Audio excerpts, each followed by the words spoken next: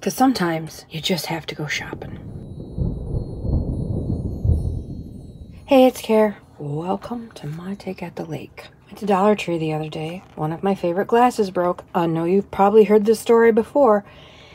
If you're new here, I get my favorite glasses from Dollar Tree, and once in a while, they break because they're from Dollar Tree. And I go there when I'm in the neighborhood to get another glass. And usually I come out with a couple extra goodies. And that's what happened here this time. I was looking for a couple of specifics and I found those and a few extra, as I said. We'll start with these because they're just fun. Rounded ears make this a French bulldog rather than a Boston Terrier, but he's shiny and he's purple and he's got way cool glasses and it's a dog and it sort of has the Boston mask, so I had to have it. Didn't I have to have it? Now I have it. And purple paw prints, purple lines. I had to have this book for $1.25. Makes me giggle. In addition to the broken glass that I needed to replace, I went specifically looking for either a sketchbook, spiral bound sketchbook, or something like that. Uh, maybe a blank scrapbook or something like that to use as a glue book. I've seen Nicole at Relax Cut Glue. She gets these similar square, I don't know what size they are, it really doesn't matter. I believe she said she got hers at Target. There's four of these little books in here. And I think I think they're ideal for glue booking. Pick a theme, random glue book. I mean, they're just tiny, tiny little guys. I think it says there's 16 pages per. So it's not, it's not going to be a killer project to finish. It's just thin paper, very thin paper. And I just thought that would be fun. They're just stapled together. Maybe worth the quarter 30 cents that they are. But I thought it'd be so much fun just to, for quick, smaller projects, do a quick spring one or a quick purple book or something about dreaming big. Use the cover for inspiration. Maybe a rainbow journal. Probably not. Probably not. But an idea journal, certainly. Ideas, light bulbs, that's fun. Uh, peace, of love in the 60s, could be that. Could be a color since there's rainbow. Could just cover it and make anything you want. This is shiny, so you could gesso it and paint on it. There's so many options. So I picked up three of these. Each one, I'll probably leave the cover, at least one of them, that way, and then cover the rest of them. Because remember, each one has four in it. So now I have 12 small, fairly small. I mean, page-wise, they're they're not tiny, like a like a zine. You know, that's a small glue book size. But as far as number of pages, it's not a big random and it's not 200 pages of an encyclopedia you're trying to cover. It's just something small and doable. Could also, you know, just be for sketching out ideas. There's there's a lot of uses for these in the craft room. It doesn't have to be a glue book at all. It could just be a place to dream big or keep track of your bright ideas or write up some quotes that just make you smile. Janet Nash is working on a she said I'm just going to spend some time putting smiles in my smile journal. I thought, that is beautiful. And she has started a whole journal just of people smiling because it changes the way you feel when you look at now people people don't do a thing for me but dog dogs smiling we've all seen pictures of dogs smiling so i could do just a glue book of smiling happy dogs that would make my heart glad. Keep track of uh, happy quotes, quotes that uplift, quotes that inspire. You know, there's lots and lots and lots of uses for these little guys. So I got a few of them because I I don't go I don't go there since they they're now $1.25 tree. As I said before, that that quarter makes a difference in my you know oh it was a buck oh it was a dollar well the dollar twenty fives you know that's a instead of it being twenty dollars it's 22.50 or something like that. You know me and math, I suck at it. But it's more expensive and that takes the fun out of it for some of us. That didn't stop me now, did it? So I got these two smaller notebooks. I love that. Living the dream. Living the dream. Just a little composition book. Now again, this can be a a glue book. It can be anything that you want it to be. It can just be a notebook. It can be uh, visiting your dreams every day, gluing in on each page something that inspires you, and then each day writing down something that you're doing toward your goals, or what would life be once you hit that goal, or anything that you want to spend some time dreaming about. You could just have that kind of a journal. It could be it could be anything. They had a different, I don't think I have this ribbon with the pugs and the Frenchies. I'm pretty sure I have this one, but I'm doing a project that I know I'll need more for, so I got another. Eventually you'll see this. I'm doing a little cat journal. So these cat stickers, I took it out of the cellophane because it was obnoxious, hard to see. So some cat catitude stickers to add to that project. I thought that would be fun. I really like using these coloring books as pages in journals. Just tear them out, fold them in half, and it makes a really cool addition to a to any kind of junk journal. No matter the theme or the color scheme, they all go. I've seen a couple at St. Vinny's where the pages are yellowed, so you could even use them in a, in a vintage book if you'd like. Uh, of course, you can vintage it up and put it in a vintage book. And my mom and I have been working on making a truckload of journals that are this size. This is made out of one 12 by 12 piece of scrapbook paper. There's a little pocket there, a little tuck there, and a pocket here. I've sewn in one small signature pocket in the back and it's just a piece of 12 by 12 scrapbook paper that's folded folded a few times and then just scrap papers I'm pretty sure because this is how I do things and usually I don't give measurements, but I think what I did was try to make sure that I just had to tear pages in half. I didn't have to trim and custom size pages. I just had to tear copy paper in half, fold it in half, and there's my pages. And I found these little guys. This is the normal size, but they had just these little ones, and I thought those would be perfect, perfect additions to these little journals. I only have the one put together. All the rest are, are still loose, so we're still building them. And I used all kinds of scrapbook paper. Heavy duty. This is super thick, heavy duty, embossed, shiny scrapbook paper. And this is just plain old Jane scrapbook paper. I've got all different kinds. I think I made about 30 of the covers. And then mom and I are decorating the pages. And so I will just stick these one of each of these pages in each journal because I think they just make such a nice page. You know, a little doodle spot and they're a perfect size. I don't have to cut anything down. I'm not losing anything. I have the entire thing intact. And just because it's a little bit smaller, that's fine. I'd rather have it smaller and fit in versus larger that I have to trim because time is money, baby. And I don't like wasting the time on that stuff. So that's what I got these for. And I also like that they're patterns and paisleys, more patterns, and more patterns. They're not butterflies, and they're not flowers, and they're not birds. They're just patterns. You know, because not everybody likes birds. Not everybody loves butterfly. So I like that they're just nondescript things, and they can go in any one of the journal, whether it's a sunflower journal or a black and white sort of gothic journal doesn't matter. I love the size. So that's why I got those. This I got specifically because it made me giggle. The first book that I really remember, the big book, was my Dr. Seuss dictionary. I loved that book. So I, am a big fan of Dr. Seuss. Although, really, the dictionary is the only book that I had because my mother was not a fan of Dr. Seuss. She's more the realistic science, math, kind of a thinker uh, than the fanciful thoughts of, oh, the places you'll go with Dr. Seuss. But I did get the dictionary. Someone else must have got it for me. She said, because I would never have bought that for you. I could use it to color just to unwind at the end of a day. I could use it in my personal glue books. I, I, I think I'll just have it to have it. Color it if I feel like it. You know, on those those days when you just don't have enough brain cells to do much else. You can almost always color. I got this for Ugly Betty. Ugly Betty. Not sure where she's at right now. I used all my ugliest stuff to put together my one of my first journals, and I named her Ugly Betty, and it's all fall colors.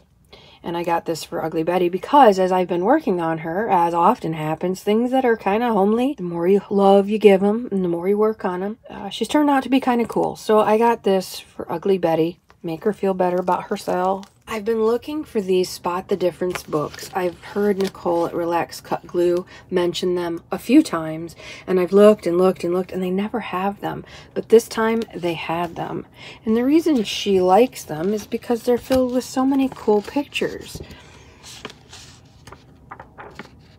You know, red for a glue book, red hammer, silver stuff, blue wrench, yellow tape measure, those kind of things. And there's all, you know, some nice brights. Sometimes there's some weird crap going on, like this teal would be a fun background for anything. Hot pink suit, put her in the pink section. Toucans, I know Janet has done things with toucans.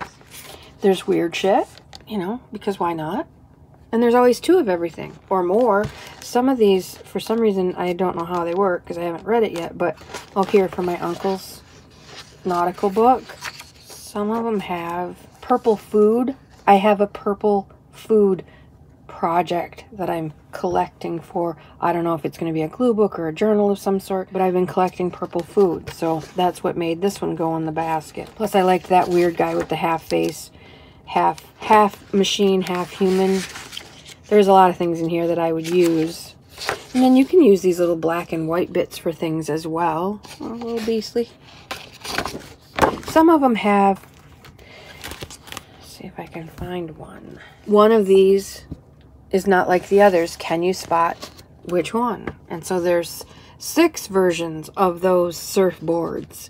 A wine guy serving up some wine. He's got black overalls or yeah, it looks like overalls black. He could go because he's wearing black and he's got jet black hair. He might go in a black part of a color glue book underwater those beautiful yellow fish hot pink black and white tropical so pretty.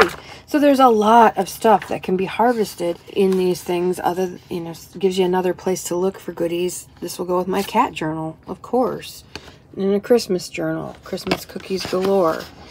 These could cut off the numbers fold them in half and this could be your tabs. They're wide but but they'd be perfect tabs. Cut them in half and use just smaller ones. So maybe it would be a Christmas cooking journal, Christmas cookie book, and these would be perfect tab page edging. So I was so happy, blue, black, and white.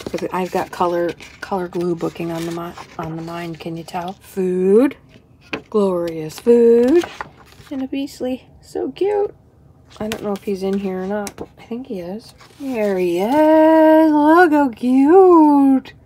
He would be the cover of my spring journal, my Easter spring journal. If I were doing one, he'd be the cover. So I got three of those. They only had three different ones, so I got one of each. And again, just lots of bright, different things to play with. Little dude. And there's six of him.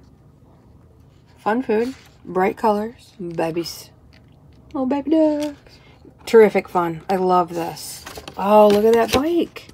Isn't that wonderful? Filled with yummy food from the farmer's market. So festive. I just love that bike. And the last thing I got from the Dollar Tree are these books. Specifically for, I want to make a sort of grimoire. Not a spells and potions book, but a dark fairy tale theme, something or other. This is one of my favorite things of all time. And this this started out as a Dollar Tree book. Uh, I think it's Gaslight is the name of it. I believe. Doesn't matter, just can't find it there now. I've had this a few years. This is an internet art that I got, a torn book page behind him that I, I took the Stabilo pencil and shaded it a little bit, put a little bit of Mod Podge obviously the the uh, store-bought kind because look how shiny i wonder if i put my homemade over that if that would take that shine off because that's really the only thing i don't like about it is that sheen on that cover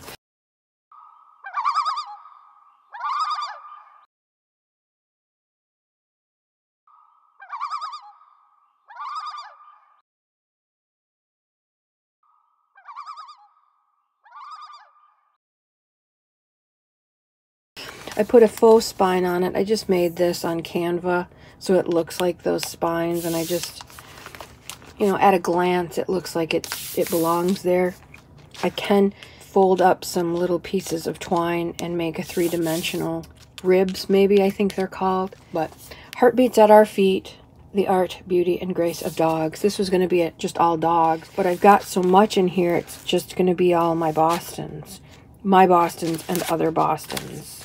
Like cards and, and calendars and post-its and all kinds of things. Even though there's a pug in there there's one or two interlopers that aren't boston. But this is one of my very favorite things ever and i want to make something similar for my cousin's dark fairy tale wedding.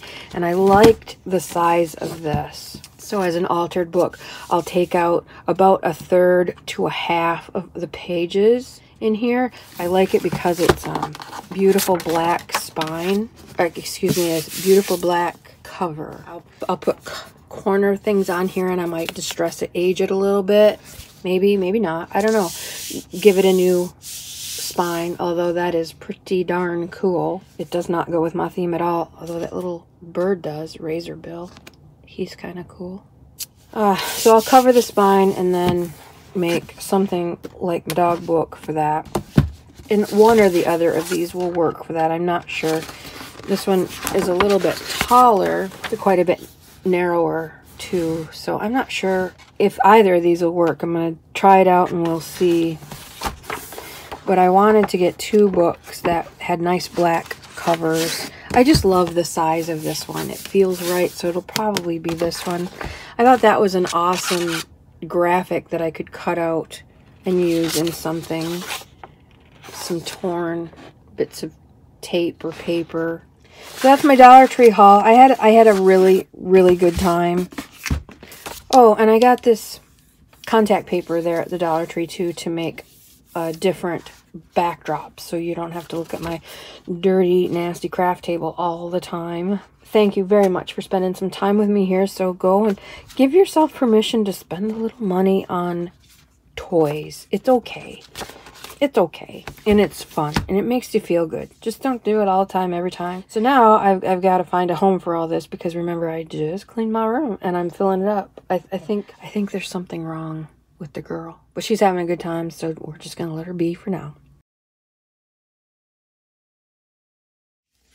So I've already started cutting this up. Here's a, a PS on, on a couple of things.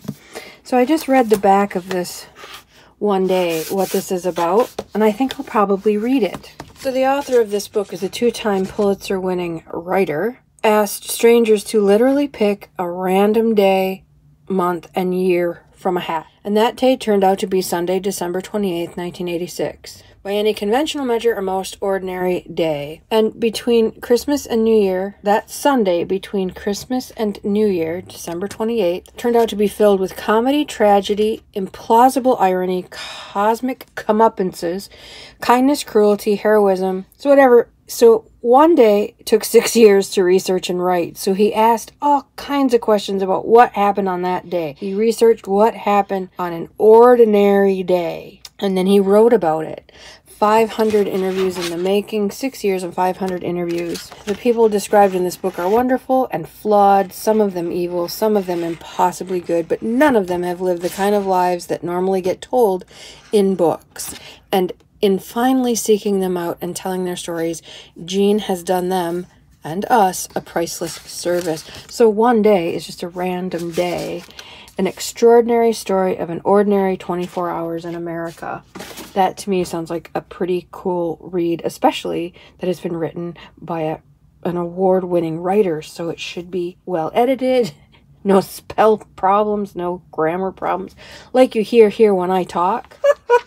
because I never talk anymore. I, the only people I ever talk to are my family and the camera. And I don't talk to my family that often. Oh, and Leanne, but we usually text. So that's in writing. And I, I spell check all of my, I double check, I edit, I rewrite, I rework, I revise all my texts.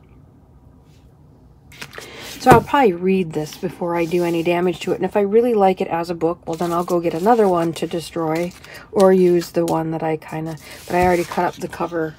And as I was cutting up the cover, I thought, oh, well, this sounds kind of interesting. Maybe I should read it. The other PS to this is when I was a reporter early on, I think it was my second year of being a reporter, I had a pretty big story to write, and I was a nervous wreck about getting all the quotes right and getting the story down in a way that it would be well read, well received. I mean, you can't really choose how people receive the news, but I wanted I wanted so much for it to, it was an important story in our community and I worked so hard on it and I worried about it. It kept me up at night several nights in a row as I my deadline approached and and I wrote the story, you know, with a great exhale, sigh of relief, and then kind of just brace like, I hope, hope, hope all is right. I hope I got my quotes right. I hope I got the players, you know, what they were trying to get across. I hope that I was clear with that. And